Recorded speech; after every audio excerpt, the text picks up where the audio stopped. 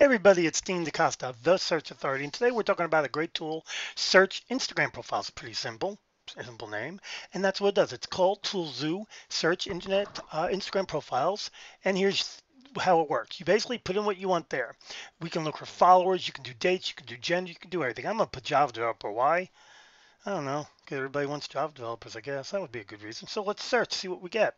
Little button, we give it a second, and look at all these people that are talking about Java development and software development what you know. Wow, we've got companies even. We got email addresses for people. This person is a world travel Java developer, and guess what? His email is right there. Let's be smart. Let's see what would happen if we went ahead and put Gmail com in the search criteria. Do you think it's possible we get people with Gmail email addresses? Let's see. I don't know. I haven't done this one before, at least not on this site. I did my own searching with my own tool, yeah, but not on this site. So let's see if we get anything even. So let's see, we I'm not seeing anything, so let's try it one more time. Okay, so obviously putting Gmail, gmail.com, at least in quotes, assuming I spelled it right, which is hard for me to tell, still with the one eye. Let's try it without the quotes. Nope.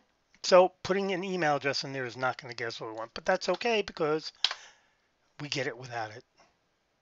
Boom. In some cases, they do have emails. So that's good to know too. Let's see. We got 13 people that are giving us email addresses out of all these results. You got it right up here with this handy dandy tool called Email Extractor.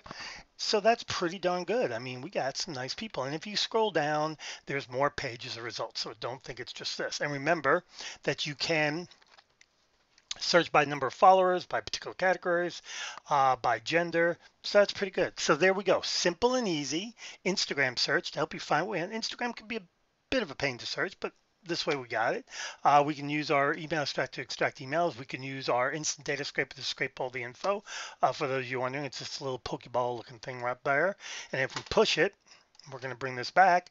Um, we're going to find different tables and find one that up oh, there we go one long line with all that information on it.